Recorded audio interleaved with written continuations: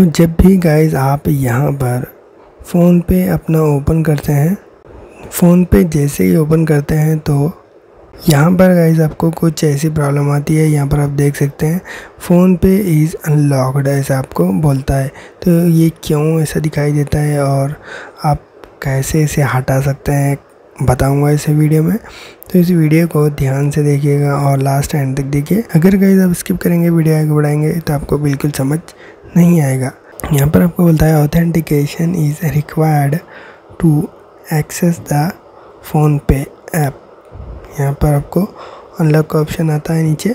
तो जैसे ही आप इसके ऊपर क्लिक करते हैं तो यहाँ पर आपको अपना जो फ़ोन का पासवर्ड है, वो पूछेगा। आपको अपना पैटर्न वगैरह जो आपने डाला है फ़ोन पे, वो पूछेगा। तो मैंने पैटर्न डाला है तो मैंने यहाँ पर खोल दिया है पैटर्न डालकर। तो यहाँ पर इसे बंद करने के लिए आपको क्या करना होगा? यहाँ पर आपको लेफ़्ट साइड में चल जाना है ऊपर। यहाँ पर प्रोफ़ाइल में आने के बाद नीचे आना है। यहाँ पर आप देख सकते हैं स्क्रीन लॉक इसे आपको बंद कर देना है, जिससे जो आपको यहाँ पर पूछ रहा था लॉक वो नहीं पूछेगा। फ़ोन फ़ोन पे इज़ लॉक नहीं बोलेगा। अभी मैं ओपन करके बताता हूँ आपको डबल से। यहाँ पर आप देख सकते हैं।